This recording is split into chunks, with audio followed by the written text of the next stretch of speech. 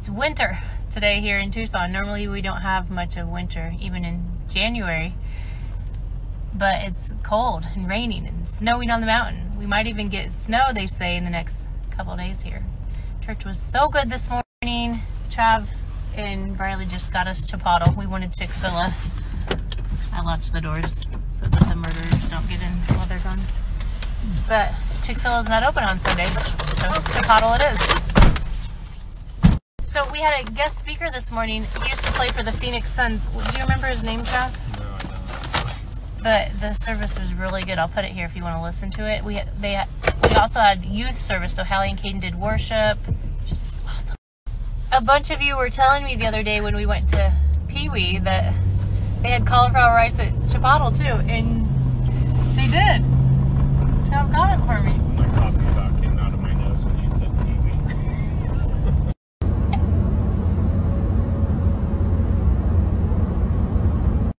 Six eight as a junior, six nine as a senior, averaging 25 points and 20 rebounds a game. I'm a high school All American. I'm written up in Sports Illustrated as one of the best players coming out of high school, going into college.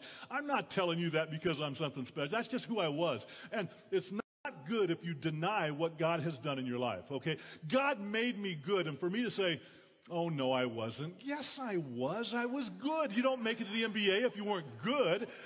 Ooh, look at that. It's like those old pots. Huh. I don't like how the top is painted, but I could change it. Make it look cool. It's only $15. Get it, Chester. Go get it. You want some? Oh. Mmm. Chester loves hail too.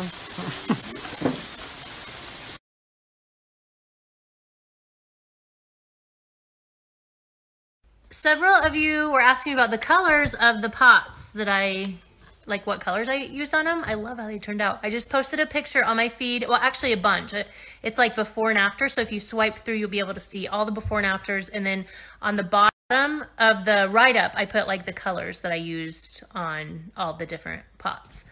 They're so fun to make. You can just make them so many different ways. Just make sure the paint dries in between or you have a big muddy mess. And I did use the um the salt mixture technique that I made. Uh, That's on my blog post. I'll put it in the swipe up here if you missed it. That's how to make them just look more like original clay like, I think. It's not so smooth.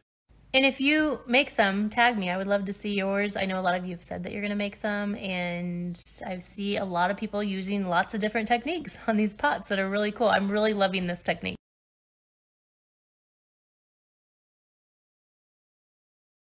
Trav and I have been sitting in this spot for probably hours today, trying to figure out what we're doing. Well, we know what we're doing with our floor plan generally. Eh, we're- I think we're changing a few things around, and we're trying. We're looking for a local draftsman to draw the whole thing up for us. So if you know one, put it in a little box for me here. But I I feel like everything's just taking forever. If you've ever built a house, is it like that? I mean, I I just think there's so many steps, and then it's hard to find people to do certain things. So once we get our plans drawn up, eh, we already have most of our land. What do you call it? Land development Site plan. site plan. Most of that is done with a roundabout of how big our house is going to be. So I think we can start once we get our plan drawn up and get the contractor and get everything going. We're excited to start it, right, Trav? That might be the understatement century. Trav's folding laundry as I sit here and watch him do it. so, some friends and I got together here on Instagram and we are doing a giveaway tonight just to bless some of you guys. So, we're giving away four $500 Visa cards and you can use it for yourself, to bless somebody else, to get groceries or not, do something fun. I'll put on the next slides here how to enter. It's super easy.